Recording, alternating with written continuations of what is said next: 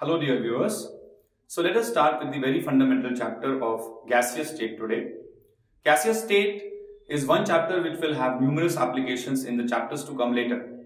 So as you all might be knowing from your previous classes that the matter can broadly be classified into the three states. Fine.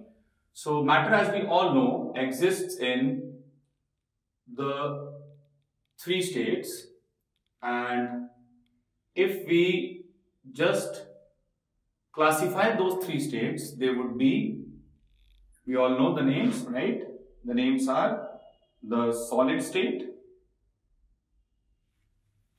the liquid state, and the gaseous state. In this chapter, we'll be focusing more on the gaseous part.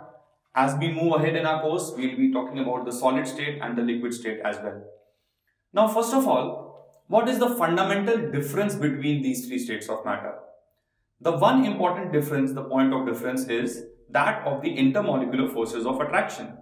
So what happens in case of solids is that they have very strong, very strong intermolecular, the solids have very strong intermolecular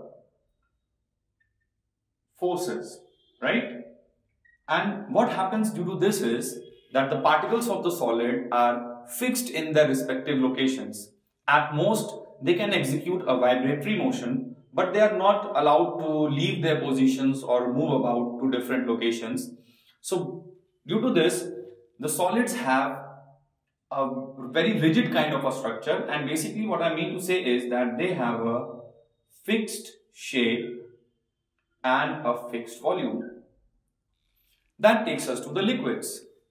In case of liquids, the forces of attraction are not as strong as they are in case of solids. So I would say that liquids have an intermediate intermediate forces of attraction and because of this the liquids do have a fixed volume but they do not have a fixed shape. So liquids have a fixed volume but we'll say that they don't have a fixed shape. So I'll write no fixed shape over here.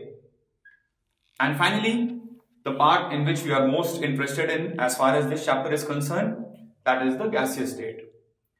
In case of gases, the forces of attraction are almost zero. So we'll say that the gases have a negligible force of attraction. The gases have a negligible force of attraction and due to this what happens is that the gases have this tendency of filling up the entire space which is available to them.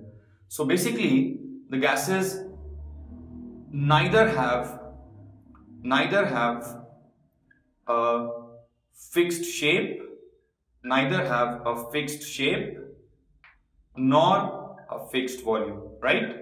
So neither the shape nor the volume is fixed in case of gases.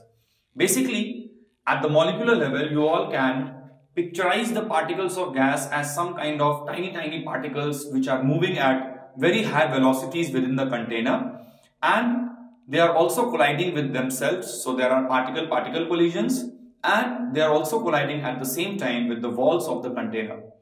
This particular molecular model or the molecular picture of the gas will be used in the lessons to come. So just, just keep that in mind that, the, that we can visualize the sample of gas as suppose we have a container and there are some there is some gas in this container.